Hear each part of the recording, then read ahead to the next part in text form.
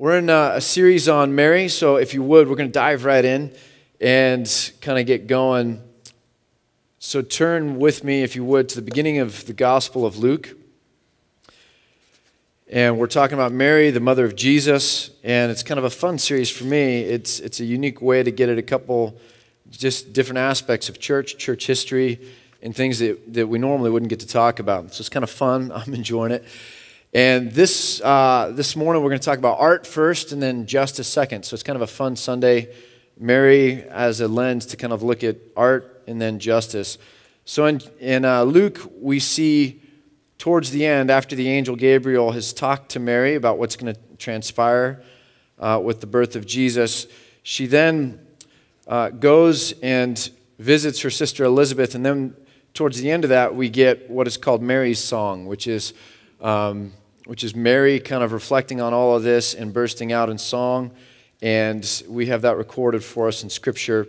And it's a fascinating little psalm, if you will. And it's that that I want to kind of speak on this morning. So in verse 46, we see the beginning of Mary's song, Luke chapter 1, verse 46. And I'm just going to read through uh, the beginning part, and then we'll get to the, the latter parts later. But it says this My soul glorifies the Lord and my spirit rejoices in God my Savior. For he has been mindful of the humble state of his servant, and from now on, all generations will call me blessed, for the mighty one has done great things for me. Holy is his name. It's, um, it's not just kind of um, spiritual words or empty words when Mary says that. It's in some ways prophetic when she says that all generations will call her blessed uh, from now on. And what we see is we see that visually expressed probably better in art than in any other way because Mary, the mother of Jesus, um, and nobody disputes this, is hands down the most depicted female in the history of art ever, with, with nobody even a close second. And so you, when you think of kind of what God is doing with this idea of um, the small peasant gal that he has chosen to bestow favor on, and then somehow she ends up the most depicted human uh, female in, in history. Uh, in art, you kind of realize something really big is going on. I don't think it's just because, well, the Catholic Church is big, so of course Mary would be uh, the most depicted. It's like, no, if you start at the beginning with who Mary was, and then who, who the early church was as well with regard to its status within Roman culture and within the empire. It really is an amazing thing how this kind of journey goes. So I want to walk us through it uh, quickly and kind of be able to show some of this. But what we see is uh, this is um, from about 250, what many would call the first depiction of Mary that we have, um, which was found beneath St. Peter's when they were kind of excavating down beneath there.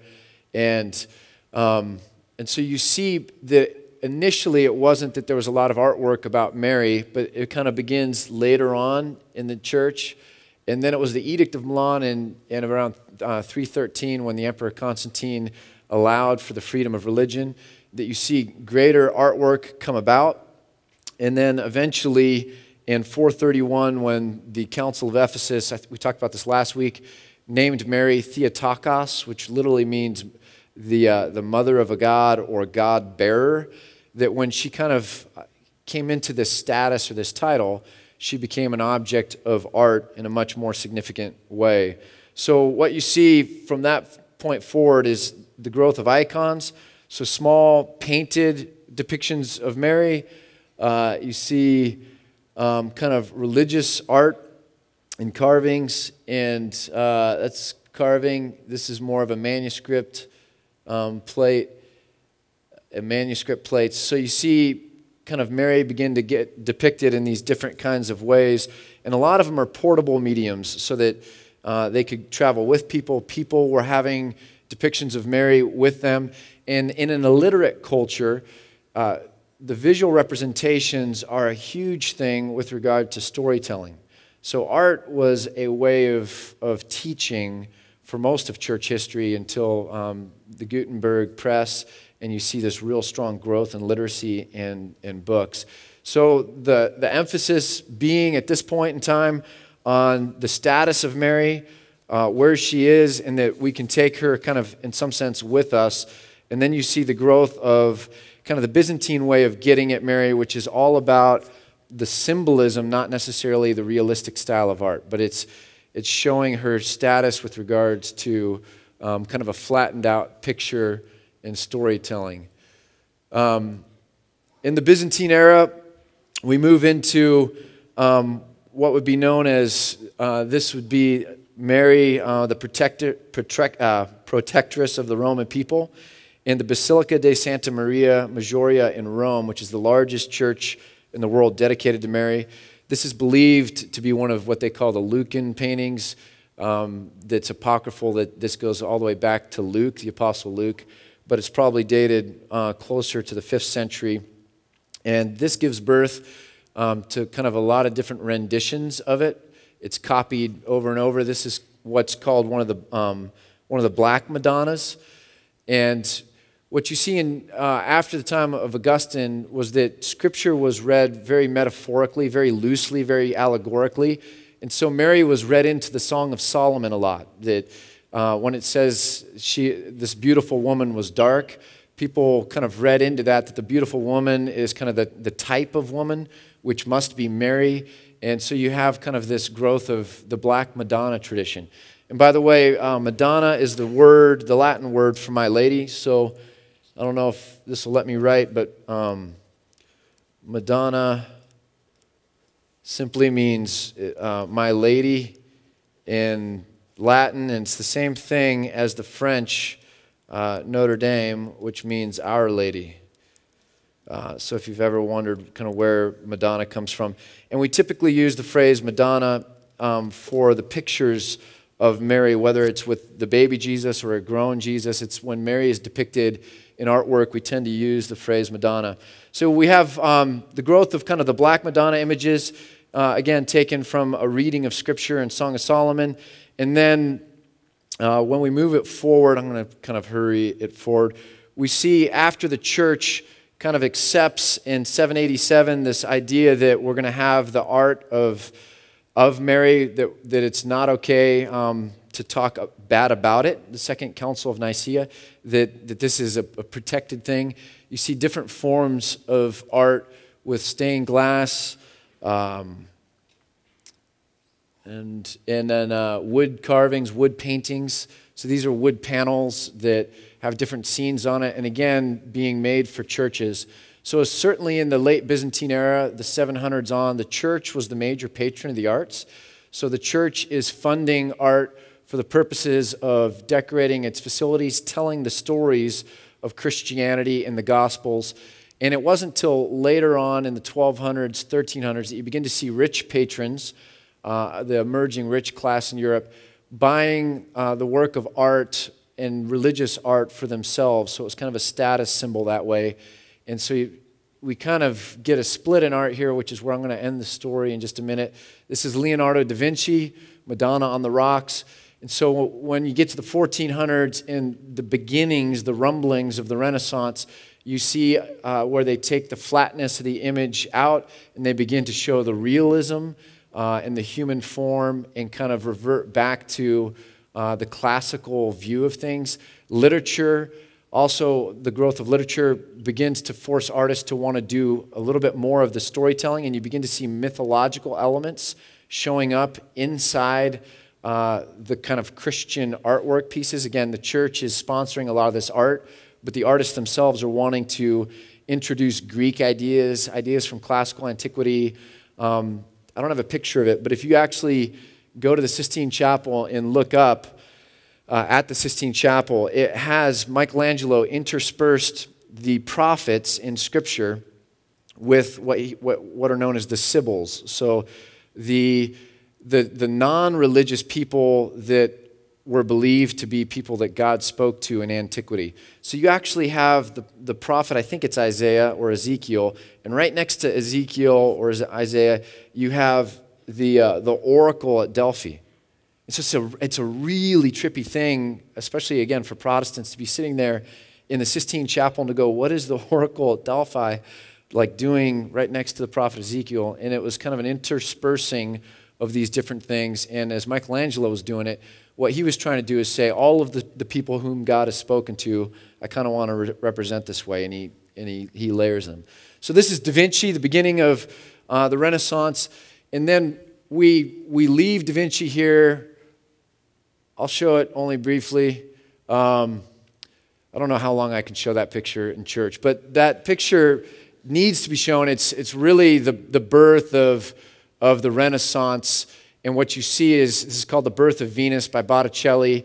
And now we've left all together doing pictures of Mary, the mother of Jesus, the Madonna, and we're, we're doing Greek mythology and we're going back to humanism and we've kind of left the world of the Bible. And so the Renaissance at this point really begins. This is the Hall of Wonders that was in uh, the Medici kind of offices in Florence. The Medici, again, the rich um, patrons. The uh, Botticelli's Birth of Venus was um, sponsored by Lorenzo de' Medici.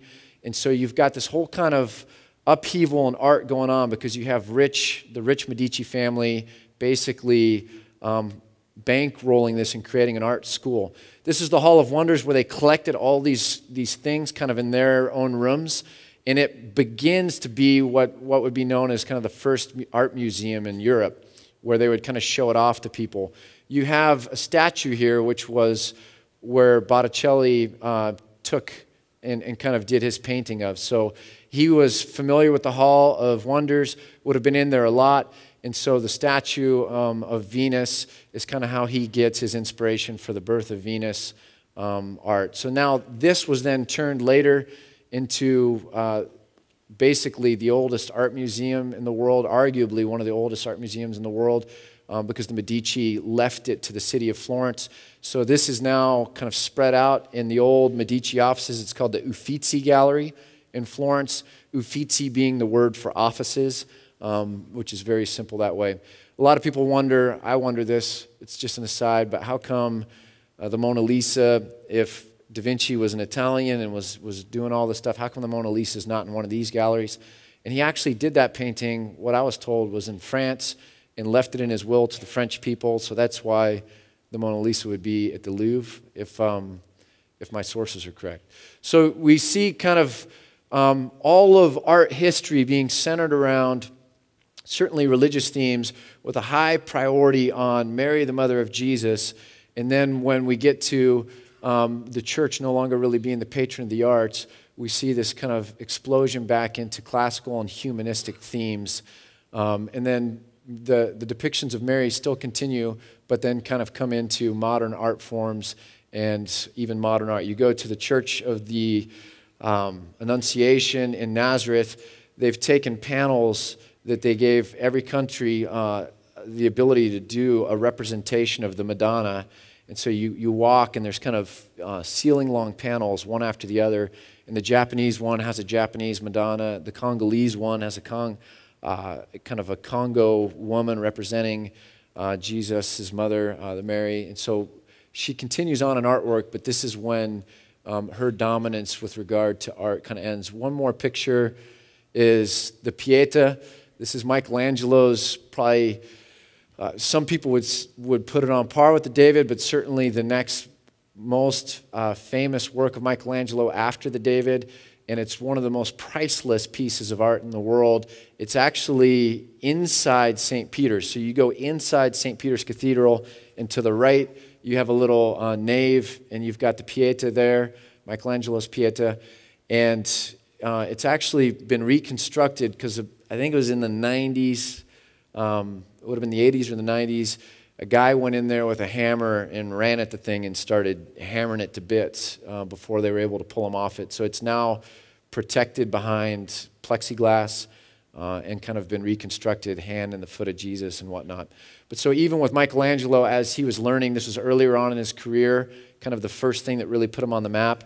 Um, all artists in that time period uh, would have to do a, some kind of a rendition of the Madonna as part of their education, uh, improving themselves. So, why, why do we bring up all of that? Because you come back to this verse, and, and it really is a wild thing for me to look at this verse and to say, somehow, when we see things in Scripture, there's a truism to that. I mean, we can talk about the art and, and Mary and the Madonna and this whole idea visually represented, but when we look at what she's saying in Scripture, the beginning of Luke, there's a truth to it. And it's a really uncanny thing to see how that works itself out uh, throughout history. Now, one of the problems with Protestants is that we tend to knee jerk and say anything that had to do with the Catholic Church, we're going to set ourselves up in, in a whole different place from that. And, and we begin to lose sight that until arguably 1517 or 1521, uh, Luther's 95 Theses in 1517, or the Diet of Worms, where he renounces or uh, fails to renounce his writings, um, and you kind of get this schism that the Catholic Church is, is the, the one kind of unified Christian branch that the Reformation and Protestant faith kind of comes from. And so the other traditions, Eastern Orthodox and, and the Roman Catholic Church, say a lot to our history as Christians and say a lot to how Christianity from the time of Luke has worked itself out in this world.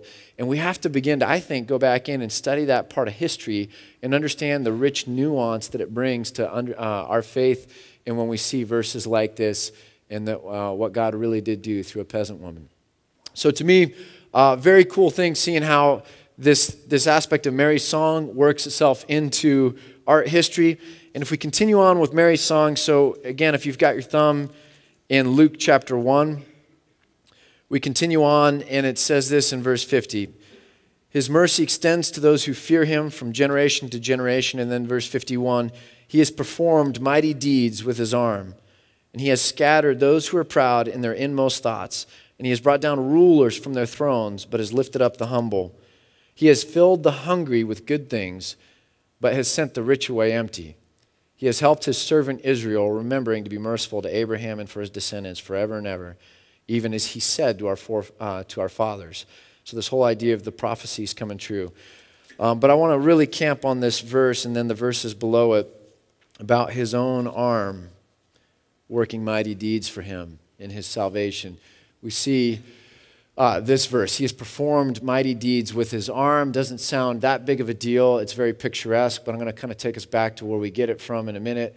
Um, and then he continues on, uh, or she continues on. He has brought down rulers. He has filled the hungry with good things, but he sent the, uh, the rich away empty. So you see this, this song of Mary talking about the arm of God, the very literal arm of God coming down. And in some strange way working justice, bringing down the high, lifting up the low, and filling the hungry with the, the things that we all ought to have. We all ought to have the food. We all ought to have the shelter. We all ought to be able to live without fear for our very lives, um, uh, like on cold nights like last night. So she's talking about God working something with his arm, and that ultimately what comes from that is justice. Now, why that's so fascinating so when I guest speak at places, I preach a sermon out of, out of Isaiah 59. So if you want to turn there with me, um, Isaiah 59, we see a whole lot barreled into a very short period here. So when I when I go to places, I love to tell the story of Antioch. I love to bring your greetings to whoever I'm speaking to, and then I jump into Isaiah 59, and I pick it up. Um, in verse 14. There's a whole lot of references in chapter 59 to uh, justice. Chapter 58 w- w- is famous for being this kind of true fasting, true devotion to God, true pursuit of God. Is not just running harder and harder. It's not kind of religious, religiously contorting yourself. It's not, it's not effort. It's not all these things. It's really about your love for others. Says something profound about your love for God. Isaiah 58. Before that, we see the suffering servant, this idea of, of Jesus as the, the suffering servant. And we get to 59, and it recaps all these things, and it talks about injustice being present because people have rebelled against God, literally turning away from God. That there's a, a correlation that when we turn away from God, injustice comes up. When we turn to God, it's a necessary part of that that justice happens. But the fact is, people have turned from God, so there is no justice. And then in verse 14, so Isaiah 59, verse 14, it says this Justice is driven back, and righteousness stands at a distance. Again, Hebrew parallelism, where you see justice and righteousness used uh, synonymously. Uh, the, the Old Testament is is replete with this kind of Hebrew parallelism where, where they use synonyms to restate things or underscore the same kind of idea. And we could do a whole sermon just about how those two words really are synonymous justice and righteousness. But then it says this truth has stumbled in the streets, honesty cannot enter. And so, what I typically try and do uh, is get into defining justice, as we've done before here at Antioch, that justice is not just an ethical concept, that it's a universal concept like truth. For Christians, we, we understand this about truth. It's called the correspondence theory of truth, that truth is what corresponds to what is. Truth is what corresponds to what is. It's got a connection to reality. Whether I like truth or not, it doesn't matter. Truth doesn't care. It's, it's uncompromising. Whether I know truth or not, it doesn't matter. It doesn't change truth. Um, truth is its own thing. I joke about Pluto. Uh, my wife was talking about it a couple months ago, like that Pluto once was a planet, now it's not a planet. You guys remember that one? Um, has anyone read that? Or are you just out of the loop? Um, Pluto's not a planet anymore, in case you didn't know. And I joke, I'm like, you know, Pluto um, doesn't care whether, it, whether we think it's a planet or not. It never has cared. And it has always existed. You know, it's there. And so, whatever we think of it, whatever we call it, Pluto, the fact of Pluto, the reality of Pluto, is really indifferent to our feelings or our thoughts. Does that make sense? Truth is what corresponds to what is. Most people understand that. Justice, likewise, is this universal concept that corresponds to what ought to be. Uh, it corresponds to God's intentions for creation, His will, His desire, His plan when He created things, um, such that when He looked at His creation and said that it was good, why was He able to say it was good? Well, because it reflected his, his ideas, His will, His plan. It reflected His beauty and His glory. And so He looks at this and He says, It is good. And so um, justice is what ought to be. Primary justice is a distinction of, of when things really are what they ought to be, is primary justice. Uh, restorative justice is all the stuff we do or the way we understand things in Ethiopia or with homeless in Bend or with the own sin in, in my own heart, my own weirdness, whatever it is, things that are not as they ought to be, the work that we do to bring those back into alignment is restorative justice. Does that make sense?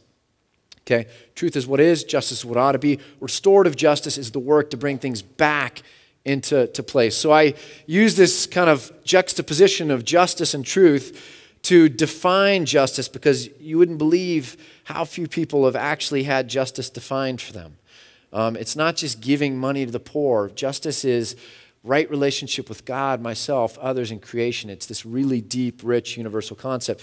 The next phrase is this um, The Lord looked and he was displeased that there was no justice. He saw that there was no one and he was appalled that there was no one to intervene. So, after all of what God has done with the judges and Noah's flood and the prophets and, and taking this people of Israel out, giving them the law, all of what he has done to try and bring about a just society, something that would reflect his kingdom on earth, all of this, there's still no justice. After all this time, there's still no justice, and there's nobody to intervene and to really set things right. And so it's this fascinating kind of huge statement. And then God says, So uh, there's no one to intervene. He's appalled that there's no one to intervene. So his own arm worked salvation for him, and his own righteousness sustained him. And then it continues and it gives this messianic prophecy that we take to be reflective of Jesus. And it says this He put on righteousness as his breastplate and the helmet of salvation on his head. And so I, I typically usually preach from that. What's wild about me getting to come to Mary's song is do you see what's going on here? He's performed mighty deeds with his arm, and then we go right into the same thing. He has restored or rectified or is um, reconciling the situation on earth to be as it ought to be. And so in other churches, they actually think I'm a heretic for a while because I, I go down that road on purpose because, um, and then I tell them I have four daughters, that I'm really not a heretic, and that usually softens things. Um, you can't really be a bad heretic if you have four daughters. But I say um, that there's this debate out there. It used to be with the conservative church that if you talked about justice, people would get really squeamish. That's liberal. You're on the slippery slope to the social gospel. Um, and so, for a lot of the 20th century, ta- just talking about justice was a bit sketchy. When we started the Justice Conference, there's actually whole debates um, with an organization and, and, a board where they were, they were debating whether we could use the word justice for the Justice Conference. That's 2009. It's amazing how much has changed in four or five years. I don't think anyone or, or any church that I know of would now say, like, we're squeamish about the word justice. A lot has changed, right? It's a, it's a really, the conversation on justice is a very fast moving conversation. Um, but here's where the conversation is at. People are going to go, yeah, we get justice. We get that that's an okay thing, that it's a good thing, that it's a biblical thing. But it's, it's not, you got to understand, it's not a part of the gospel. And so we, we have to be very careful that we protect the gospel, just the gospel and only the gospel. And so your justice stuff that you're talking about, it's good and all, but it's one layer out, it's works. And so you, you got to be really careful with that. Now, some of the mentors I've had when I was in grad school and in seminary, some of the people that I really look up to will say this, and I think they're absolutely dead wrong. And I think it's because they, they don't do their definition work up front. When you start with defining justice as being synonymous with works, then, then of course it's not going to be in the gospel because um, the Bible says works doesn't, doesn't belong in the gospel. Does that make sense? Okay? Um, but they're exactly, they're, they're dead wrong that justice isn't a part of the gospel because when you understand what justice is, it's the way things ought to be. The primary justice is the, the way that it actually reflects the beauty and the glory of God. Restorative justice is the working back to um, the idea that it reflects the beauty and the glory of God. And that Jesus, the incarnation, is the, the arm, the right arm of God breaking into the world because there was no other way to truly restore things back to the way they ought to be. Does that make sense? Jesus' mission was restorative justice. Jesus came to reconcile the world back to God to the way things ought to be. The incarnation is the inbreaking of the right arm of God to do for us what we could not do for ourselves. And so when we understand the gospel or the good news, we understand it, I think we have to understand it as being the very moment that the angel Gabriel says to Mary, I've got good news for you. And when he goes to the, the shepherds and repeats, the, the host of angels come to the shepherds and they say, We bring you glad tidings of great joy. Those are the first times we actually see the phrase good news show up in the Gospels. The good news begins with the proclamation of Jesus, the coming of Jesus, the right arm of God breaking into the world. That's when the light begins to dawn. And then the good news is also the, the life of Jesus that he lives when he feeds the hungry and he heals the sick and he brings down the lofty when he judges Pharisees and other leaders. And he exalts the humble by saying of women who broke alabaster jars of perfume over his head that this is an act of faith. And from now on to the end of time, when you talk about me, I want you to talk about this woman. Not that elite religious ruler in Jerusalem, or the guy with all the degrees or whatever it might be god um, jesus is exalting the humble and bringing down so his life reflects it. And then his death on the cross um, is this final moment of atoning for sins so that we could stand blamelessly with god. And then his resurrection is a part of the good news. Um, paul argues this. If jesus didn't rise from the dead then we're to be pitied Jesus' resurrection is part of the good news, and Jesus' ascension so that the Holy Spirit could come. Otherwise, we wouldn't have the enabling power of the Holy Spirit to help us live into freedom, live into joy, and become Christ like as we go. So, the problem that happens in America right now is that we are too atonement centric with our gospel. We think it's all about the transaction when I trade uh, my bad stuff with Jesus' good stuff, and that that's the good news. And the problem with that, if we, if we think that is the, the sum, you know, the, the sum total of the good news, is that we're mistaken the means for the ends. Okay? The means for the ends. The big question with something is not the how, but the why. It's, it's not how do we get saved, it's that we do get saved. It's the what. It's, it's the it's why is Jesus dying for our sins? So that the why. I mean, it's it's um it's an incredible thing when you take the tool and you think that's the whole thing. Let me explain it to you a different way, and I've, I've said this before, but I always try and tell this to churches when I'm speaking uh, out there is that if the if the atonement, if the death of Jesus atoning for our sins was the ball game Okay? Then when at the end of Matthew, Jesus dies, and the heavens quake, and they shake, and the earth rumbles, um, and the veil is rent in two. If, if the atonement was really the ball game, do you remember that? You've got the, the, the altar in the temple, and then when you go further into the temple, you have the Holy of Holies where God's Spirit is dwelling, and you've got this veil separating a holy God from people who are not holy, who are not able to stand in the presence of God. And when the earth's, um, when the earth quakes and the heavens roar, when Jesus dies, we see in Matthew that the temple veil is rent from top to bottom, symbolizing that the barrier between God and man has now been removed by the death of Jesus. Right? If it was all about the, the substitutionary atonement of the death of Jesus, that we get um, that his, his, his receiving the penalty for our sins substitutes in for us that substitutionary atonement. Does that make sense, that phrase? If that's the whole ballgame, then that altar would have cracked, symbolizing never again does does there need to be a sacrifice? Never again does something need to be punished for the sins of people. Never again do you need atonement. That would have been the ball game. But the, the altar and the forgiveness of sins was always a mechanism or a means or a tool so that people could come be in the, in the presence of God, in the fellowship of God. And now that Jesus died, once the righteous for the unrighteous, that veil rips and we can come boldly before the throne of God. So substitutionary atonement or Jesus' death on the cross is a mechanism by which we come back into relationship with God. So the good news is not about a transaction of salvation. The good news is about a restoration of relationship.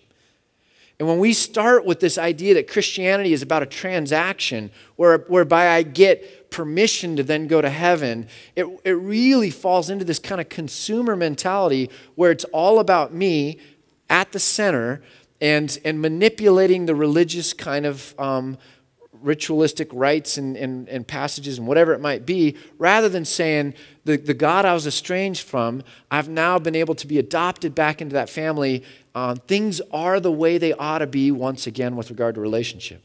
And so, um, this idea that justice isn't a part of the gospel, I think, is incoherent. It's incoherent. And so, to pastors that I talk to that try and argue with me, I, I end up being a bit facetious and, and sarcastic because sar- sarcasm really works in showing truth, right? And, uh, and so I, and I've, I've done, I've said this to you guys before, but I, will I'll, I'll say this to, I'm like, so here's what I'll say is, okay, so I think you've, you've finally got me. I think you're arguing me into your position here, but I just want to make sure I understand the gospel, right? So let me see if, if I can say what the gospel is, and then tell me if I'm understanding you correctly. And they're like, okay. And I'm like, okay, so the gospel is um, this, this idea that I get to swap places with Jesus so that the unjust get to stand next to a just God as if we're just through a process of justification whereby we're justified. But, but it doesn't have anything to do with justice. Am I, am, I, am I getting it right? And usually, you know, the eyes kind of roll back, and it's like, well, I've, I've, I do not know that I've ever thought about it that way, right? Um, but I think this is incredibly important. Um, Isaiah says that God gets to a point where he says, I'm going to write myself into the story. I'm going to write my son into the story that he, once and for all, will be able to bring about the restoration of things, the reconciliation of all things. That this is the heart of the good news that our relationship is able to be res- restored, that things are able to be put back the way they ought to be. Uh, and, when, and when Jesus comes, it's the beginning of that work, and the good news starts there.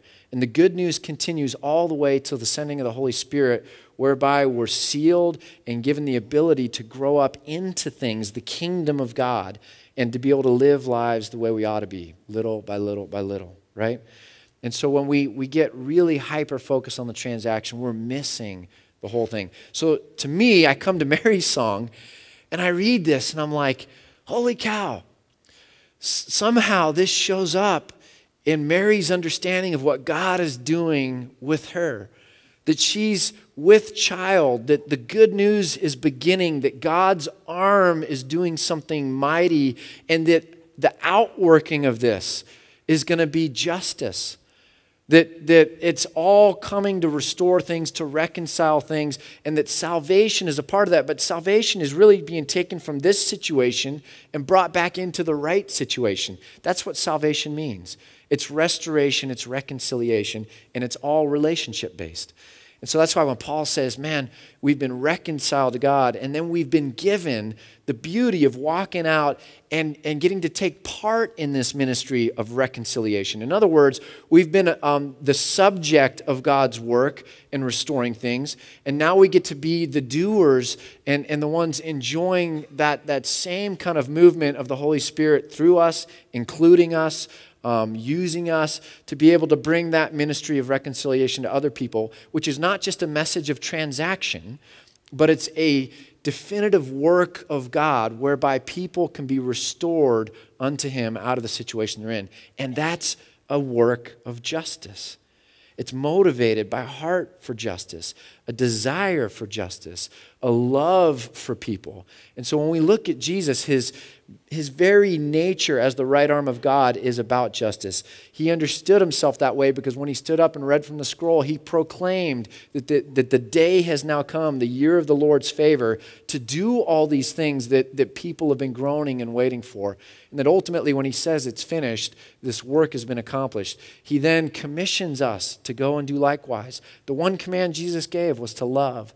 And then he actually said, so strongly am I identified with this call and this move towards justice that when you stand here on the gospel um, as Christians, you think that to move towards the poor and toward justice is moving out on a limb that begins to feel like maybe I'm on a slippery slope, maybe I'm really out there. And so we run back to where it's safe, the gospel. He goes, that, that's, that's kind of the way it feels, doesn't it?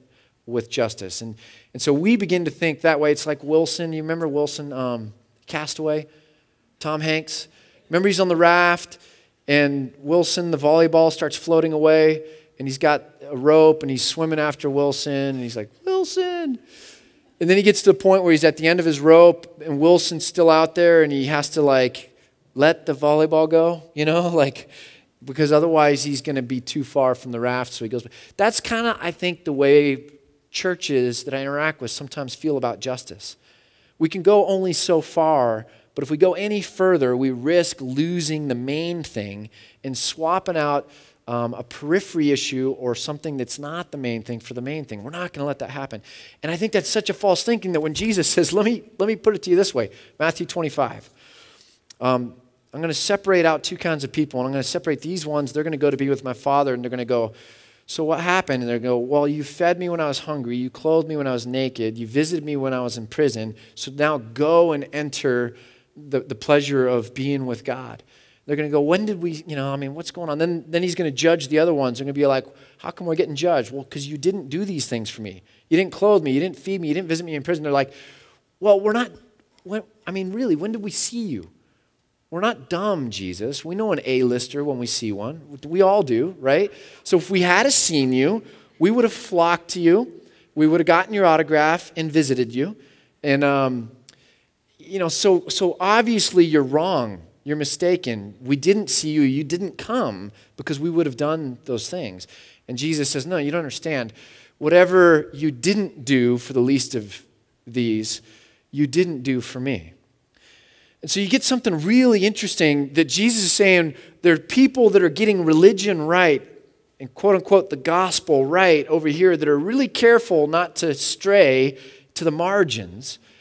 And Jesus is like, you actually got it wrong. If you if you come out here and stand in the margins, you stand with me and you stand for me. And it's as if you're actually doing whatever it is you're doing to me directly. This is where relationship's at. And so when we don't understand the true definition of justice, how that works into what God is doing with Jesus and what Jesus' purpose is, then we think doctrine and kind of substitutionary things in the gospel is over here, and we got to be careful not to get pulled to the margins.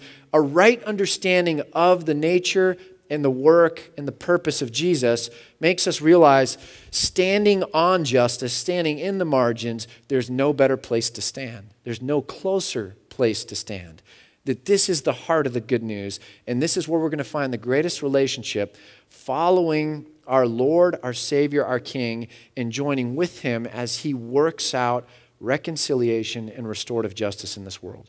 Amen? So when we come to Mary, I mean, look at this.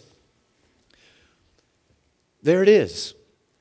When we come to Christmas, when we come to the Nativity, when we come to presents underneath the tree, when we come to thinking of a, a uh, a girl on the margins. You know, liberation theology is, um, whether you know about it or not, it was a movement kind of born in the South America and the, the struggle for social justice.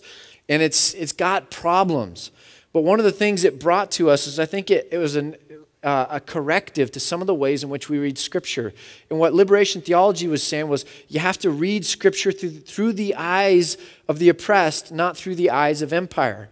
And I think there's something healthy about us understanding that if we were Roman citizens, empire, in this day, it would be like, um, translating it into today's language, it would be like a, a, an illegal immigrant girl um, who's 15 year old, pregnant outside of wed- wedlock, that lives outside of Santa Fe, New Mexico, and is somehow called down to a slum outside of Mexico City to report for a census. Um, and God is going to make her the dominant face of art in history. That God is going to make her the one closest to the scene of what He's going to do in restoring all things to the way they ought to be. That, I mean, do you know how strange that would sound to our ears? I mean, I mean, mind blowing how strange that would sound to our ears. That a Palestinian Jewish girl from Nazareth going down to a little town, Bethlehem, outside of Jerusalem, on the outskirts um, of, of poverty. That this is crazy upending our categories for understanding God. And when we wrap our minds around who she is, when we wrap our, our minds around what God is doing with his mighty arm to restore things, to bring the kingdom on earth as it is in heaven, because isn't that what we're supposed to pray for? And if we're supposed to pray for it, then how can we not grapple with the fact that somehow this is a part of the plan of God? Would Jesus have us pray for something that's not part of the plan of God? And so we have to begin to think like a kingdom again, that, that God really does desire for us to begin to live out his will on earth as it is in heaven, to reflect um, the kingdom as it ought to be, to live out justice and mercy and love. Let's pray, and uh, we're going to take this morning's offering. Father, we, um, we live in a day, we live in a time, we live in a culture, and we come at your scripture always through that lens and that perspective. Sometimes maybe it helps, sometimes, oftentimes, maybe it gets in the way. I pray for myself, I pray for my family, I pray for this church that it wouldn't be our own ideas of what you're doing or our, our, own ideas of Jesus or our own ideas of how salvation should work that would begin to inform our, our Christian understanding. I pray that it would be your scriptures. I pray that it would be what you've always been about doing. I pray that it would be the things you prophesied and then the things you fulfilled. That these things, the more that we can get at them and understand what, what you've accomplished, and that we get to join and be a part of. The more we understand your heart for people, I pray that these things would inform our, our Christian understanding. Let us truly be a light in this community, we pray. In Jesus' name.